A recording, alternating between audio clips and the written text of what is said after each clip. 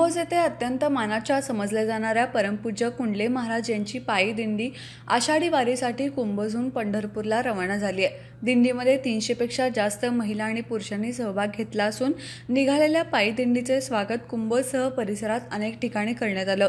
यावेळी कुंडले महाराजांच्या वारकरी संप्रदायाने काढलेली दिंडी हरिणामाचा गजर भगव्या पताका टाळ मृदुंगाचा आवाज आणि विठ्ठल नामाचा जयघोष यामुळे वातावरण भक्तिमय बनले होते.